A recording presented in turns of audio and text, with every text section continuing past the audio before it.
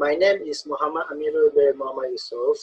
My metric number DE170129. This is my metric card.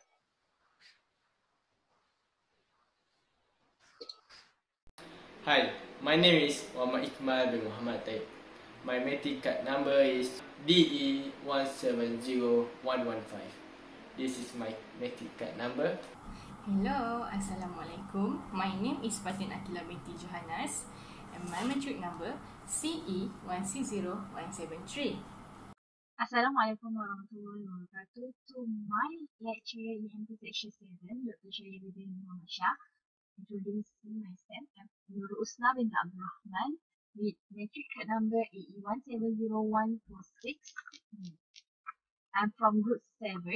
I'm with my other teammate uh, are going doing are doing group project group project for EMT.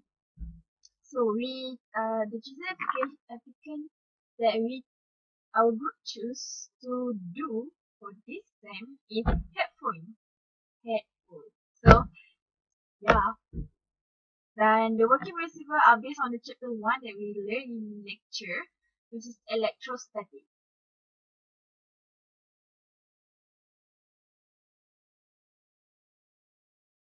Now I'm going to start my part, which is to introduce what is electrostatic.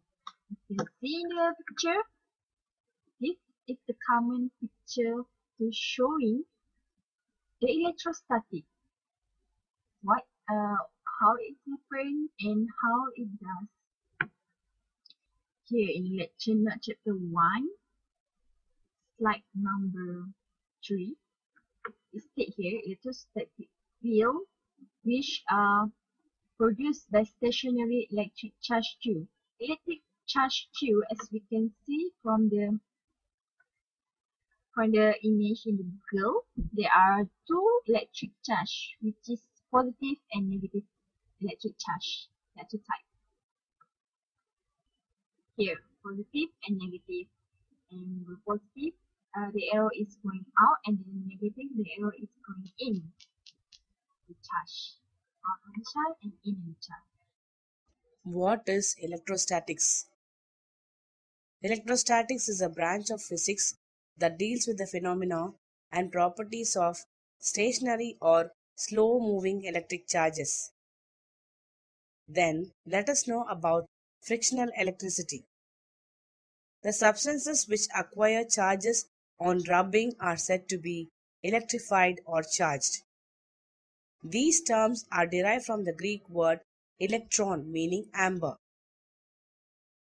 The electricity produced by friction is called friction electricity.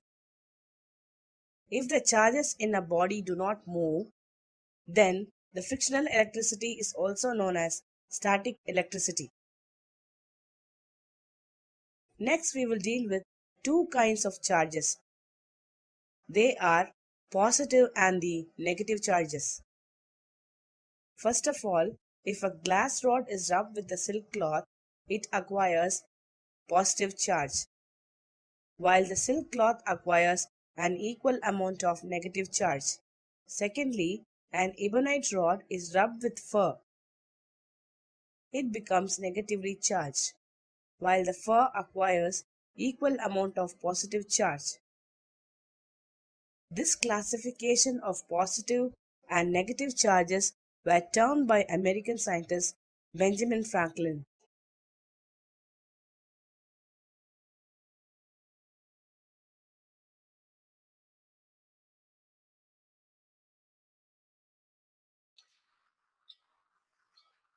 Hi, my name is Muhammad Amirul bin Muhammad Yusof. My matric number DE170129. This is my matric card.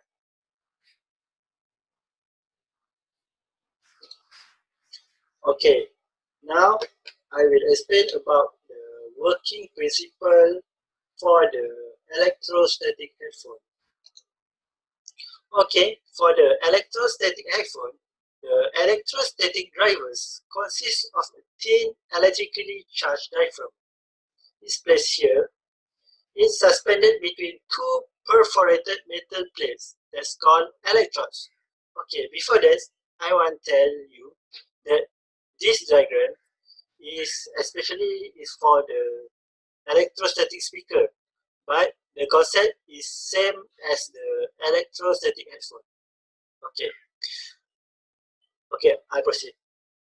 The electrical sound signal is applied to the electrodes and creating an electrical field. It's depending on the polarity of this field. The diaphragm is drawn toward one of the plates. Air is forced through the perforation, combined with a continually changing electrical signal driving the membrane, and it generates the sound wave. A special amplifier is required to amplify the signal to the flat membrane.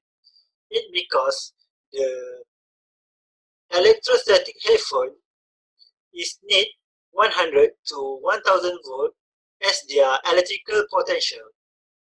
Since the invention of insulators, there is no actual danger. They do not need to deliver significant electric current, which further limits electrical hazard to the wearer in the case of the fall.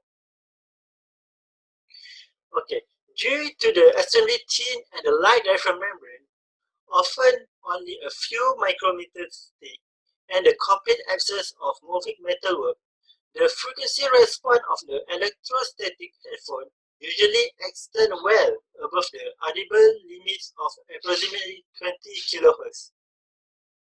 And because the high frequency response, it means that the low mid-band distortion level is maintained to the top of the audible frequency band, which is generally not the case with moving coil drivers. Also, the frequency response peakiness regularly seen in the high frequency region with moving coil drivers is absent. So I can conclude that the well-designed electrostatic headphone can produce a significantly better sound quality than other stuff. That's all from me. Thank you. So we proceed to the next explanation.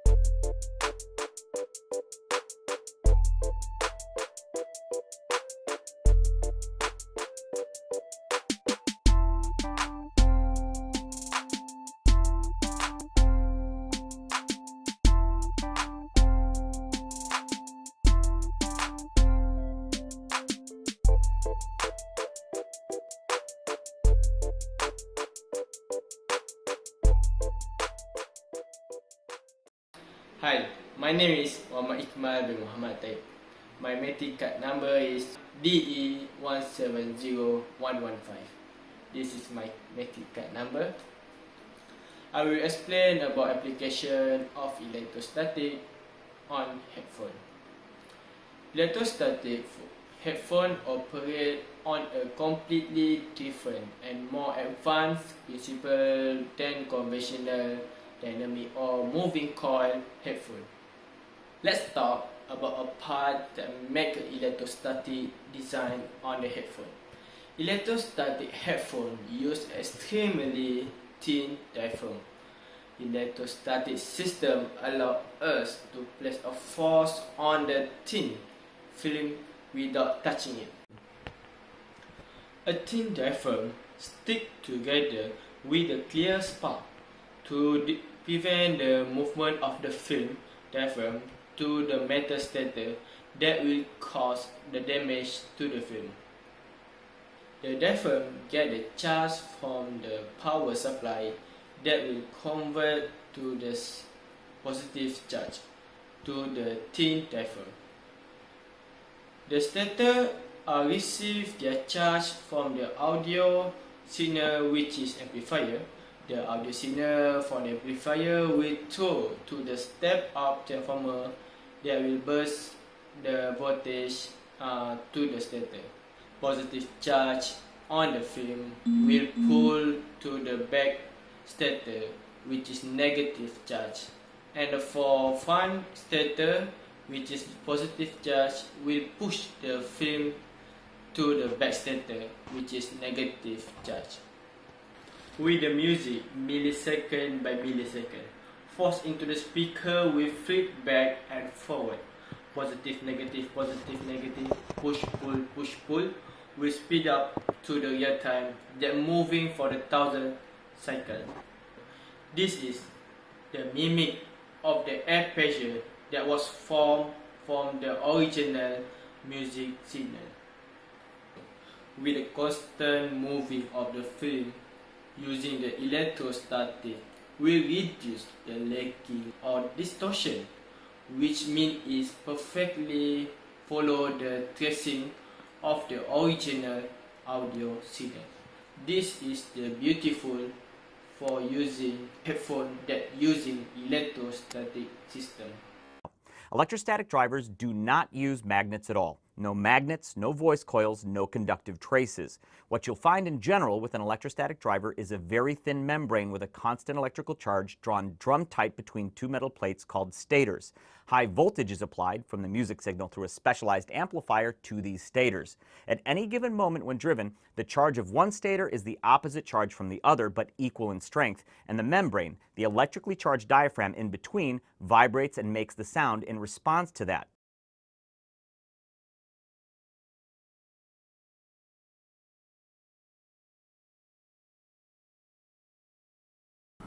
Hello, Assalamualaikum. My name is Fatin Akila binti Johannes. My matric number CE160173.